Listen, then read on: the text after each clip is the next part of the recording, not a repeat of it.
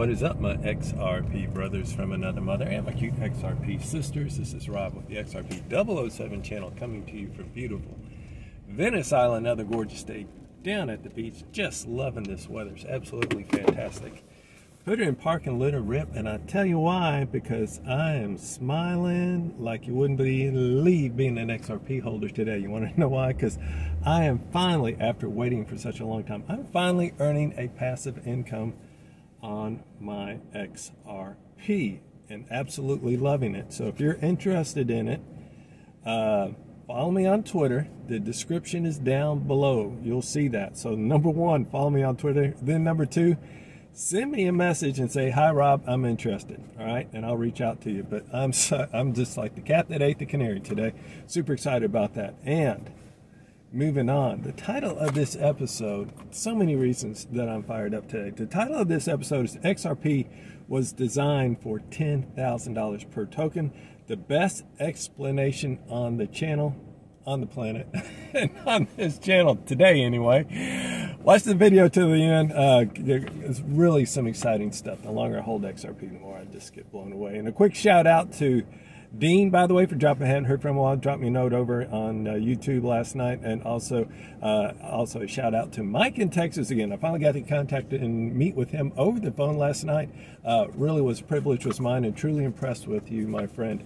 Uh, and thank you. We are less than 50 subs away from 8,000 subscribers, and I know we're going to rock it up to 10,000 too. We're starting. I can see that from my algorithm and all the trends and stuff that, that we're really gaining, gaining up some momentum and speed. Thank you so much. I appreciate each and every one of you. So if indeed, if you are new to this channel, if you would hit the subscribe button to subscribe, the bell for notifications, that like button, tap it, slap it, whatever you are feeling for a Wednesday, a hump day, and you can follow me down below on Twitter as well, which I just mentioned. All right, comment of the day goes to. I'm going to sprinkle these in every now and then, but uh, this had me just kind of laughing last night. It's the best smile of the, uh, of the day. Is that I was asking everybody, what is the first thing you are going to do when we hear that settlement announcement?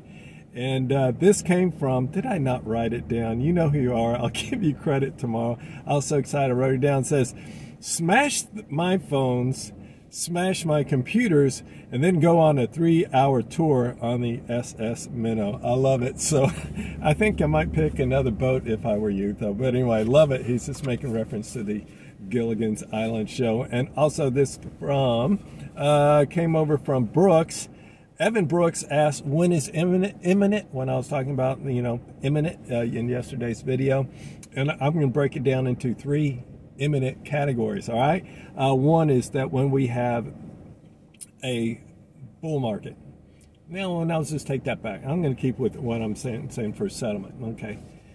And actually, there's some overlapping here between the bull market and the settlement. So when is imminent? And so my prediction is that we have our settlement before December 22nd, which is the third year anniversary. I give that 80% chance of happening, if not 90% now. And call that price tag $7 to $27. Take your pick. That's less than 60 days. If I'm wrong, push it out to April 15th. I don't see it happening that way at all. I just don't think. And also, who was it? Brent. Brent was chiming in. It's like, no, that's just not how it, it, it works when it comes to the lawyers want this up, but also lawyers like making that money, don't they? Uh, and then also, the next one would be flip the switch. How imminent is that? Nobody knows. And I'm going to talk a little bit about that later, but nobody knows when that happens. When it does happen for me, uh, like I put in the video this past week, uh, $500 XRP to a $5,000 XRP. Don't believe it is true, but that's a big range, but I'm just saying where it goes, who knows. Uh, for me, I see like a minimum of at least like a $500 XRP. All right. And then the last one would be for a three digit XRP. That's a beautiful $100 per XRP. My latest date for that would be June of 2024. And that's just on speculation price alone. So if we reach these targets of like 7 to $27, take the one right in the middle, right around a $16 sweet spot, then do an 8X on it. That gives you right about that $100 XRP. Hope that answers that question. A comment by Cabana Boys talking about how the, uh, you know, when you see companies like Ferrari accepting XRP, It says they understand the future value of XRP. Well said, my friend. I couldn't agree uh, more. And he says, yeah, why? Because they know what they hold, don't you know? Uh, and this is a fun question. So, pop quiz, get out your pencils, get ready to comment down below because this is also a good one. Along with yesterday, it says, uh, you know, you have too much money when fill in the blank what it is for you or, it, or else if it puts a smile on your face. This put a smile on my face. You know you have too much money when you own an electric scooter and it's made by Bugatti. I kid you not. There's actually a, a Bugatti scooter. Really? That's somebody that bought that has way too much money. All right now and also desperate times call for desperate measures or is it a stroke of brilliance or is it just a Hail Mary pass? Somebody's trying to sell a chicken McNugget on eBay for $500 because it's shaped like the country of Australia. You can't make this stuff up. But I guess if he doesn't sell it, he'll have to eat his loss. I digress. I shouldn't have gone there, but I couldn't resist. And now into the juicy stuff on this episode. We got to fun. How to get some of the great stuff. But yeah, I'm super excited just about finally getting to earn passive income on my XRP. I will be waiting for automatic market makers, and I will be participating in that as well. There are going to be three different ways you can do that, in a minimum, at least three, if not more. And that's going to take a while for it to come out, to get tested, get the kinks out, stuff like that. Okay, but the plot thickens. Uh, this is so exciting when it comes to this is all you need to know. I kid you not. Apparently, JP Morgan has been quietly accumulating, guess what? XRP. Do you know that they right now, as of now, they have 7.5% of its wealth is in XRP. That may not sound like a large amount, but it really is because they're probably diversified over a, a lot of different assets. So this is getting up there. They are keep, they keep unpacking and stacking. And guess who decided they'd take your car payment and house payment and XRP? JP Morgan. You think they like that XRP? I think so. All right. Now, this is down the last part of this video. This comes from EGRAG Crypto. It says, feeling uncertain about your next XRP move? May be your last and your last chance to seize the buying opportunity and this is 100% juicy. He says that mark your calendars. Here's the part that's 100% juicy out of his whole thread that I took away from this. It's and I'm putting it. Uh, it's already on my calendars, but he says there will be events happening in, in November. He says mark your calendars for the third and fourth week of November. Something interesting may be brewing, and we all know uh, along a lot of those things that it could happen. I think November 17th is a key date that we're going to have a watch out for SEC and a settlement announcement. I mentioned it why in a video, a couple of videos back. Comment down below if you remember why I said in that one. But there was there's something happening on that day that coordinates that there could be a settlement that announcement happens on then. And of course we know that ISO 222 goes live November 19th. But he says something interesting may be brewing. I just like the sound of that. Uh, and there is so much confluence right now. He says when we break out of this, what he calls a white triangle, triangle on his uh, graph, he says, uh, which is, you know, we will be looking at some XRP shaking action. I love that.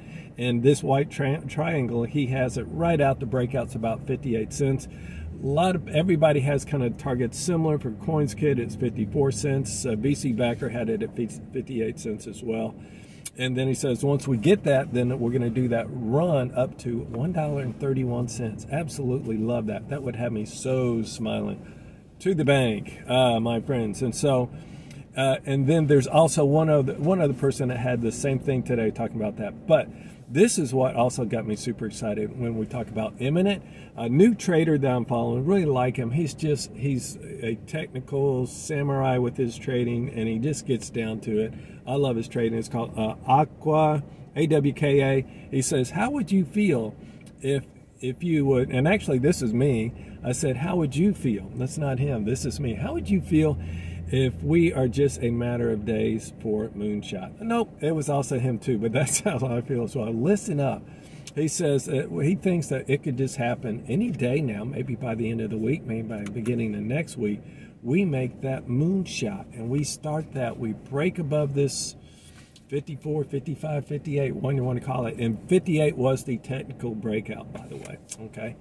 And then we start heading up north and, and do that moonshot. That would be just the beginning of this journey. And remember, when we do that, once we start to break out, it happens really, really fast for XRP. So we'll know that we're going to be within that three to four week time frame. I'll be watching this like a hawk. Uh, one thing that could shake the market is a Fed hike now. Uh, um, you know, the Federal Reserve hiking interest rates, we, which they're probably most likely are going to be a rate hike in November, and then it's going to have a real big domino effect on uh, on the banks. And then this is this is also just got to thank and shout out to Lou. I was in his live stream last night, and he actually had a live stream. I, I never can get him to reply to my comments, so I got his live stream. I just wanted to know, you know, I, I thought he's he's you know you know down in the Caribbean. Sure enough, he is. But anyway, so he chimed in. I he replied to to my uh, comment up on there. But anyway, says uh, you know um, um, the banks. There is a narrative with the IPOs right now I'm kind of getting a little bit off track. So I'm going to go back to the fact that he was talking about his latest video, just talking about when the Fed rates its interest rate hikes. That's going to begin a domino effect, which begins with the bonds, and then it tri tri trickles over into the banks, and that the big banks are going to collapse. And then my question becomes, how, how long a time period will it take for these to collapse? So if we get a rate hike, let's say, I think that happens in like mid-November. I don't know the exact date of the meeting I'll let you guys know tomorrow. But is it going to take days, weeks, or months? I would think that would take at least weeks. There's several banks. I don't think they all happen at once. And so anyway, says that this begins this beginning of that reset, uh, resetting on the new system. And then also on that same vein of talking about IPOs, the effect that IPO is going to have onto the price of XRP, he thinks it's going to send it into the hundreds.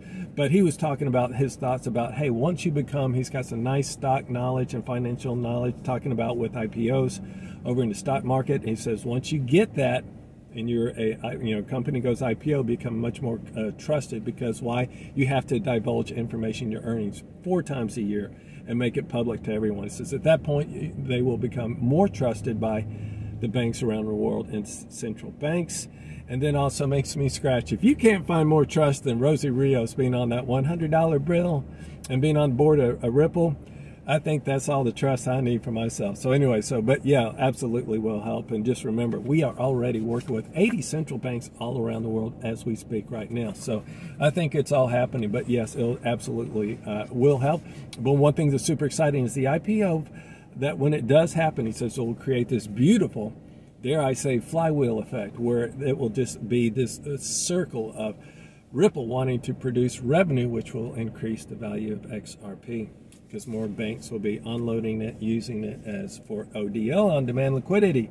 And this is the last part, saved it for last. I have no idea how long this has run, probably a little bit longer than I wanted to. Best explanation of about XRP hitting $10,000. This is from a gentleman that was actually a former high school teacher and he says look i can i can dumb this down for you guys make it for even someone that's in school that they can understand this uh, really well so he he says here's how you explain blockchain and XRP to someone. He says, think of a train track, that's the blockchain. And you got to go from destination point A to point B, okay? And that you cannot you cannot deviate from that. So you have this ledger, this trail of every single thing that, that went, and it's all on the tracks. You can't deviate from it, get from point A to point B. Now he says XRP are the cars on that train that hold and are filled up with the value XYZ, whether it's a euro, a yen, gold, oil, precious art, real estate, you name it. And he says, you got to realize that there are only so many cars that Ripple has. And it sounds like a lot. I get it all the time in the comments about this $100 billion supply being so much in the market cap. 100 billion is not a lot when you consider all the money out there and all the money, which we talked about at length on many episodes. But he says there's so many cars. He says uh, you need each car to be big enough because it's a limited finite um, amount of, of cars. You need the card to be big enough to hold the value of what's being put inside, whether it's the yen, government debt, real estate. You take all these values, real estate 321 trillion, yada yada yada yada, in order. And he says the higher the price, the more efficient that it is.